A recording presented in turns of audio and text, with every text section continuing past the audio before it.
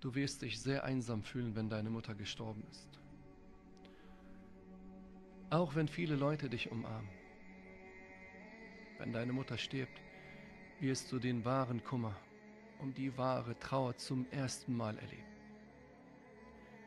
Der Verlust der Mutter hinterlässt eine große Lücke, macht einen fassungslos und sprachlos und hinterlässt eine Leere, die niemand füllen wird, egal wie viele Menschen versuchen, dich zu trösten. Die Liebe der Mutter ist einzigartig und bedingungslos. Und wie tief dieser Verlust wirklich ist, spürst du erst nach ihrem Tod. Der Schmerz, den du dann fühlen wirst, zeigt dir, dass dieses Leben vergänglich ist.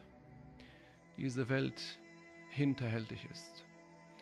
Und es zeigt dir, was wahre Trauer bedeutet.